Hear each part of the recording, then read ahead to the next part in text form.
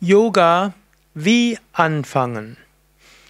Ja, eine der Fragen, die mir gestellt wurden, Yoga, wie anfangen? Mein Tipp wäre, fange Yoga mit Freude an, fange Yoga mit Enthusiasmus an oder einfach ganz gelassen. Oder fange Yoga einfach neugierig an.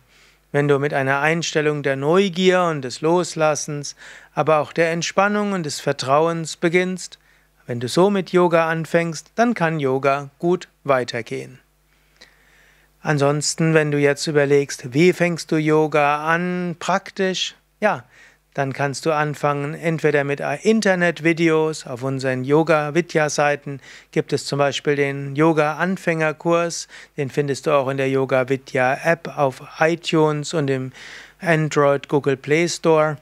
Noch besser ist es, du fängst Yoga in einem Yogakurs an, zum Beispiel in einem Yogazentrum oder eben auch in Volkshochschulen, Fitnessstudios und so weiter.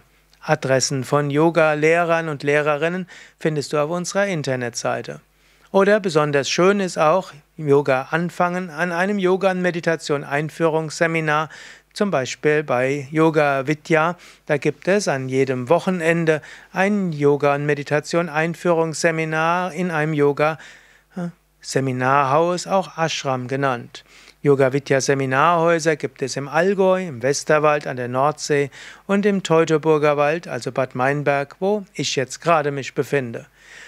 Und an einem Wochenende kannst du gut anfangen und bekommst viele Tipps, wie du zu Hause weitermachen kannst.